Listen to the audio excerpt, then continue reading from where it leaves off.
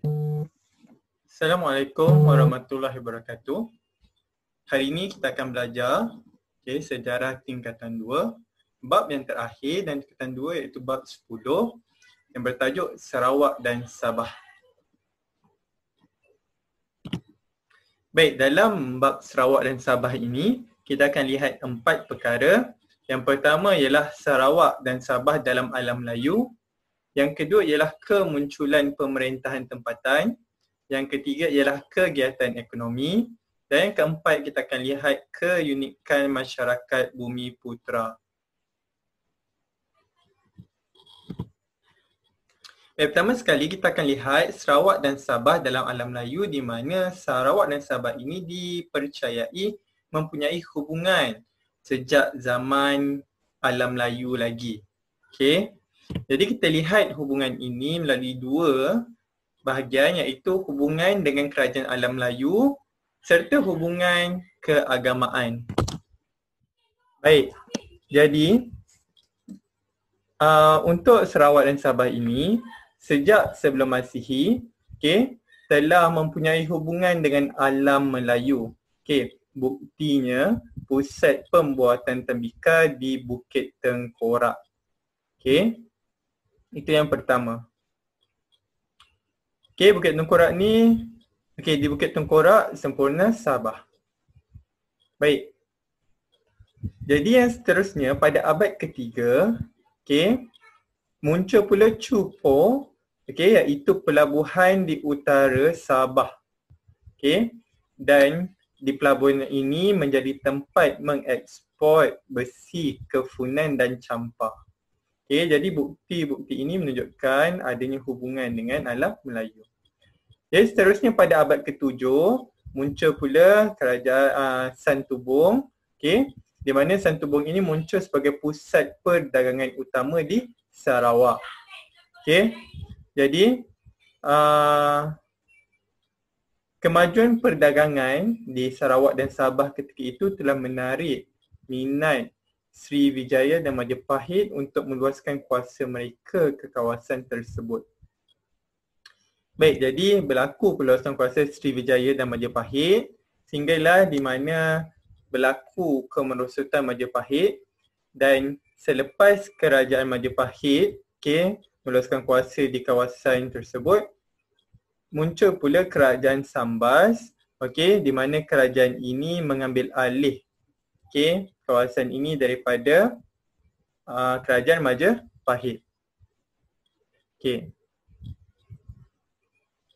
Jadi selepas itu, okay, pada abad ke-14 muncul pula kerajaan ataupun Kesultanan Melayu Brunei. Okey. Dan hubungan yang baik di antara kerajaan Sambas dan kerajaan Brunei ini, okey, telah uh, menyebabkan kerajaan Sambas menyerahkan wilayah di Sarawak kepada Kesultanan Melayu Brunei. Okey, dan seterusnya muncul juga Kesultanan Sulu yang berada di utara Borneo. Okey.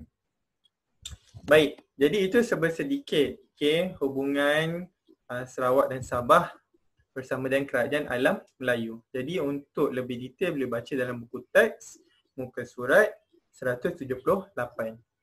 Baik, seterusnya kita lihat hubungan keagamaan. Okey. Baik, hubungan keagamaan uh, Sarawak dan Sabah ini dipengaruhi dengan uh, agama Hindu, Buddha dan Islam. Okey, pengaruh-pengaruh agama ini uh, mulanya dibawa oleh kerajaan Sriwijaya. Okey. Dan uh, sebagai buktinya adanya peninggalan objek agama Buddha di Santubong okay, dan penemuan batung Ganesha di Limbang. Okay.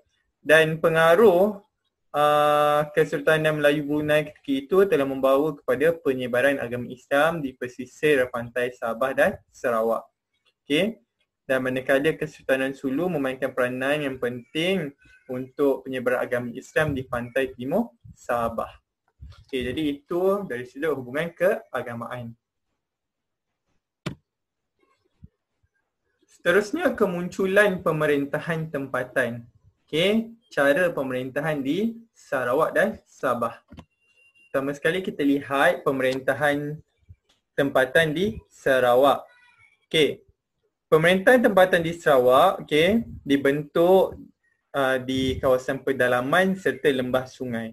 Okey, jadi ada dua kepimpinan kesekuan serta ada kepimpinan lembah sungai. Untuk kepimpinan kesekuan ini, okey, ia berlaku di kawasan pedalaman Sarawak okey dan ia berbeza daripada kawasan dengan muara sungai. Di mana setiap kaum mempunyai ketuanya yang bebas daripada kawalan mana-mana kuasa dari luar. Okey, sebagai contoh masyarakat Iban, ketua mereka dikenali sebagai tuai rumah. Masyarakat Kayan, okey, pemimpin mereka dikenali sebagai kelunan maren. Okey, ataupun himpun hipun umar. Okey, seterusnya kaum Kenyah digelar Peram Lepo dan mereka ada pemimpin kaum Kelabit dipanggil Lahir Hayih. Okey, jadi itu kepimpinan kesekuan mengikut suku ketua masing-masing di kawasan pedalaman. Baik, manakala kepimpinan lembah sungai okey dibahagikan pada dua. Pertama, melalui kerajaan. Okey, kerajaan ini okey di mana di kawasan Sarawak terdapatnya kerajaan-kerajaan yang berada di lembah sungai iaitu seperti kerajaan Sawako, sorry, Sawaku, Samadong, Kalka, Saribas dan Melana. Melano. Okey. Jadi uh, setiap kerajaan ini seperti kerajaan-kerajaan Melayu lain, okey adanya lokasinya, ada pengasas serta abad ataupun masa mereka diasaskan. Jadi itu boleh rujuk buku teks juga. Okey, seterusnya terdapat juga pemerintahan yang bercorakkan wakil raja okay, di mana sistem wakil raja ini okay, merupakan pengaruh daripada alam Melayu okay, yang sebelum ini. Okay. Okay, di mana uh, wakil-wakil raja ini okay, akan menjalankan pemerintahan dalam aspek kehakiman, kebajikan dan menjaga ke- keamanan. Okay, itu ialah kepimpinan lembah sungai. Maka pemerintahan di Sarawak ada dua, kepimpinan kesekuan untuk di kawasan pedalaman, kepimpinan lembah sungai di kawasan lembah sungai. Baik, seterusnya kita lihat pula pemerintahan tempatan di Sabah. Okey. Pemerintahannya juga dipecahkan kepada dua, okey, di kawasan pedalaman dan juga kawasan lembah sungai. Okey. Kawasan ke pedalaman mereka memanggil kepimpinan kesekuan juga okay, di mana mempunyai ketua bebas dari kawalan kuasa luar juga sebagai contoh kadasan dusun, murut dan orang tua. Okay. Uh, kedua-dua kaum ini mempunyai seorang ketua yang dikenali sebagai orang tua. Okay. Bobo Hizan atau Bobo Lian bagi kaum kadasan dusun dan babalian bagi kaum murut pula membuat ataupun menguruskan soal adat dan pantang larang. Okay. Itu kepimpinan kesukuan di Sabah. Manakala kepimpinan lembah sungai okay, di Sabah dipecahkan kepada dua. Yang pertama wakil bebas, sorry wakil raja dan kedua ialah ketua bebas. Baik. Jadi sistem wakil uh, raja ini sama juga okay, uh, dia merupakan sistem di mana wakil raja daripada contohnya Kesultanan Brunei ataupun Kesultanan Sulu okay, menempatkan wakilnya untuk menjalankan pemerintahan dalam aspek kehakiman, kebajikan dan menjaga keamanan.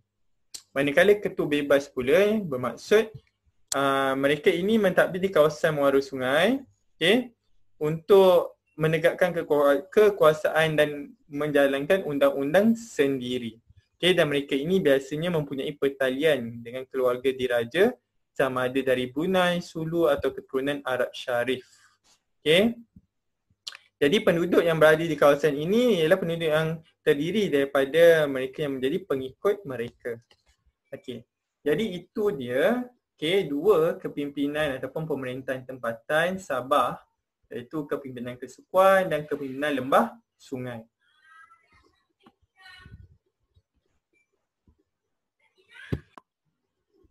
Baik, seterusnya kita akan pergi kepada kegiatan ekonomi di Sarawak dan Sabah.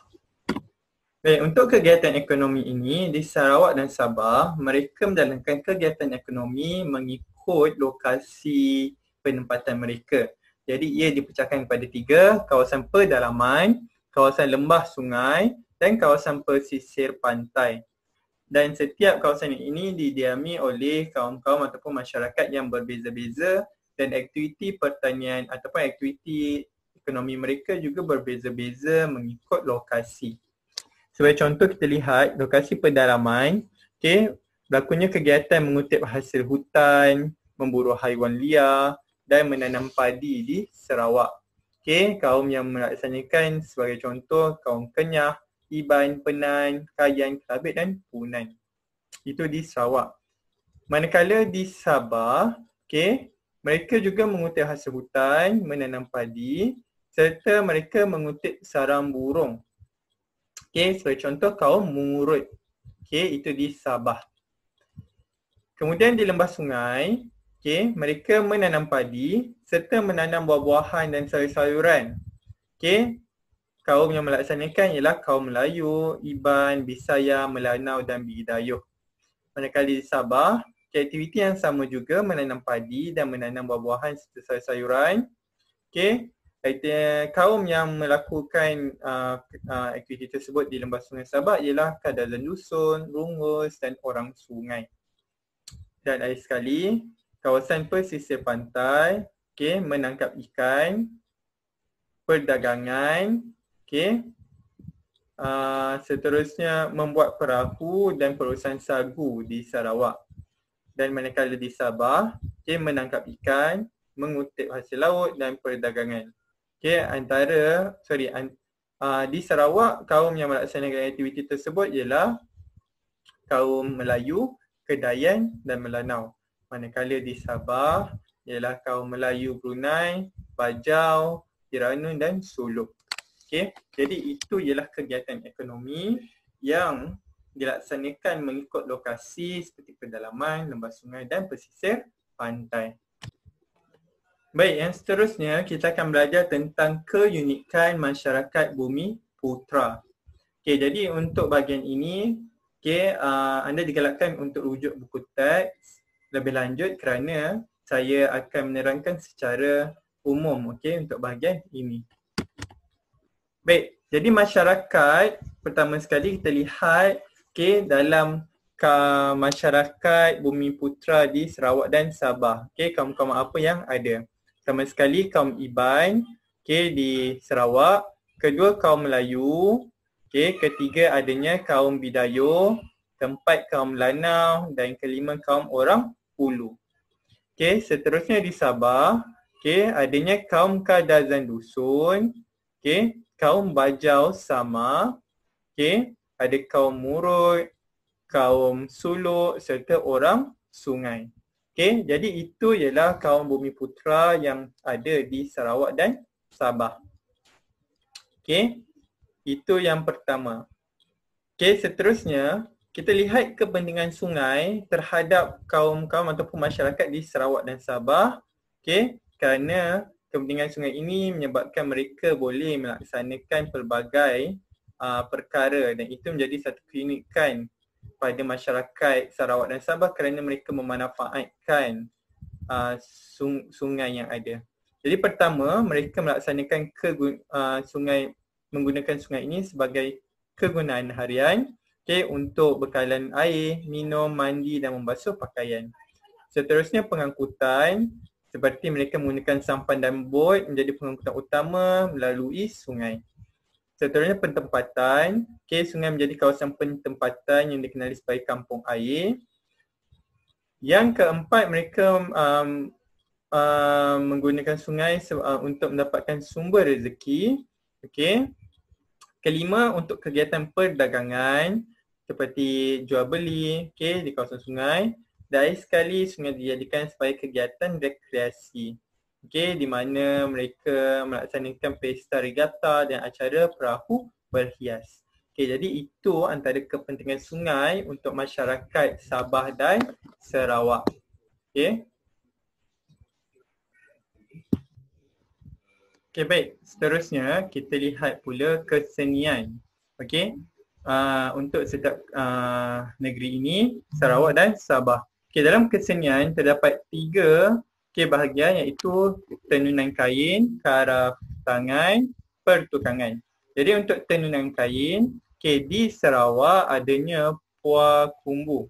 Okay, puah kumbu ini merupakan hasil kerja tangan kaum Iban yang diperbuat daripada kain kapas. Okay, ia digunakan untuk majlis seperti kelahiran, perkahwinan dan kematian. Okay, itu yang pertama. Yang kedua, kraft tangan. Okay, adanya uh, alatan seperti sindung, sintung duduk, lanji, basung. Okay, yang di mana uh, peralatan seperti sintung duduk ini digunakan untuk membawa benih padi. Okay, lanji untuk membawa hasil padi dan basung untuk memburu.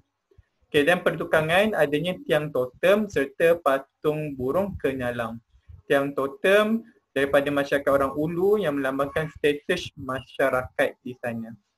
Okay, manakala patung burung kenyalang merupakan lambang kepahwal, kepahlawanan kaum Iban.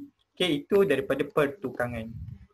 Okay, seterusnya di negeri Sabah pula, okay, adanya tenunan kain okay, yang dibuat ataupun kaum rungus mengubah inavol untuk menghasilkan selendang yang berwarna-warni.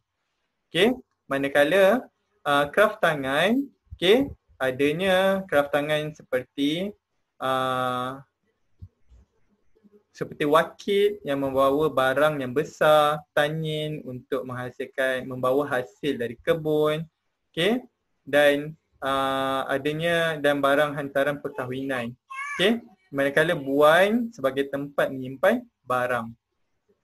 Okay, dan sekali pertukangan, masyarakat di Sabah okay, uh, menghasilkan uh, pertukangan seperti uh, guk dan badi. Okay, di mana ia adalah untuk memotong uh, rumput dan tidak untuk upacara perkah perkahwinan.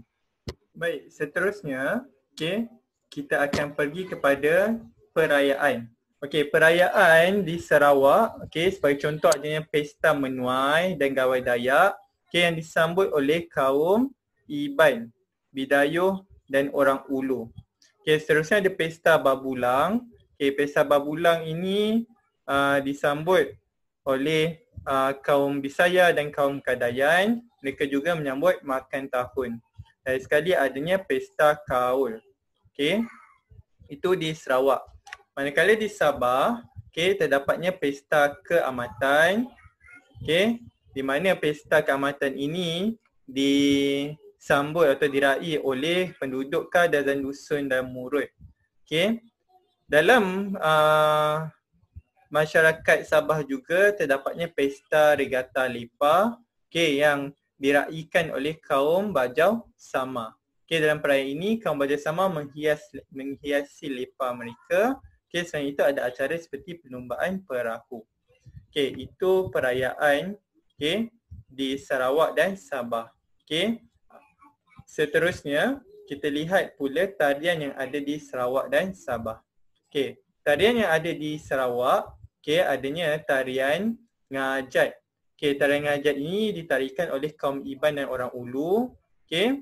Dan uh, kalau nak tahu tarian ini, dia adalah untuk memberi semangat kepada para pejuang yang hendak pergi berperang. Okay, itu ngajat. Yang ada orang memegang seolah-olah perisai itu. Okay. Yang kedua ialah tarian Datun Julut. Okay, tarian Datun Julut ini daripada orang Ulu. Okay, tarian ini melambangkan lambang kegembiraan dan terima kasih. Okay, penarinya memakai pakaian berwarna-warni dengan perhiasan kepala. Alright. Seterusnya tarian bermukun. Tarian bermukun ini merupakan acara bergendang. Okey. Dan keunikannya ialah gendangnya dipalu oleh wanita dan penarinya oleh lela lelaki.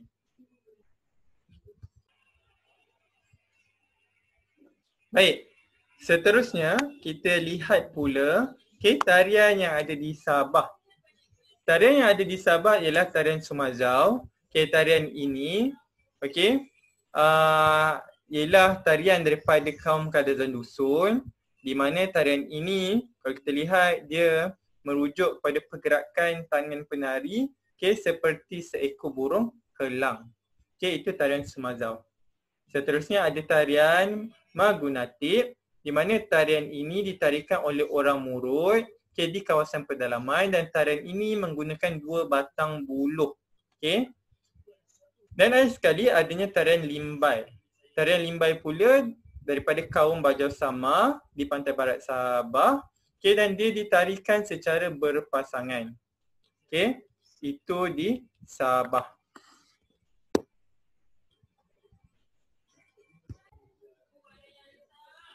Okay, baik.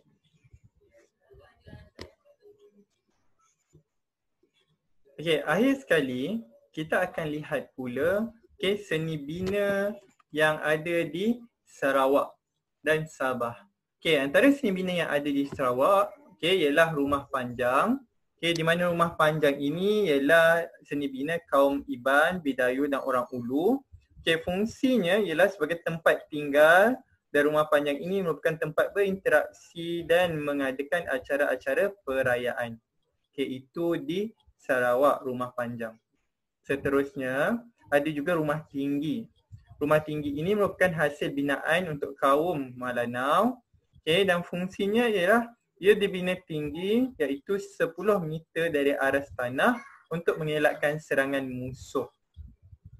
Dan sekali, di Sarawak juga ada rumah baruk Rumah baru ini ialah seni bina tersendiri oleh kaum Bidayu. Okay. Dan rumah baru ini fungsinya ialah untuk tempat menyimpan tengkorak, menyimpan senjata, okay, pusat ritual, mesyuarat dan majlis sosial yang lain. Okay. Okay, itu seni bina yang ada di Sarawak. Manakala di Sabah pula adanya rumah panjang runggus, okay, iaitu rumah panjang yang dibina oleh kaum runggus okay, yang dikenali sebagai binatang. Okay. Dan uh, fungsi rumah panjang ini ialah untuk mendiami kediaman okay, dan kubu pertahanan daripada serangan musuh. Okay, dan ia menggalakkan semangat kerjasama untuk melindungi ahli-ahlinya. Okay. Dan lain sekali, ada juga rumah panjang murut. Okay, rumah panjang murut ini dibina oleh kaum murut dan uh, ia uh, berfungsi okey dan dibina di atas faktor keselamatan dan pertahanan. Okey. Dan rumah ini amat unik kerana apabila kita lihat di bahagian pintu rumahnya, okey, ia terdapat ruang uh, pin sorry pintu rumahnya okey dibina di tepi rumah dan terdapat ruang memanjang memisahkan bilik-bilik untuk keluarga. Okey dan akhir sekali seni bina di Sabah ialah adanya lepah. Okay, lepah ialah merupakan perahu yang dibuat oleh kaum Bajau Sama di pantai timur Sabah. Okay. Dan ia bukan saja untuk mengangkut barang tetapi dijadikan tempat kediaman. Okay. Jadi itu ialah seni bina di Sarawak dan Sabah. Okay, dan kita telah lihat keunikan masyarakat Bumi Putra dari sudut masyarakat, kepentingan sungai, kesenian, perayaan, tarian dan seni bina. Okey, maka kita telah lihat Sabah dan Sarawak ini.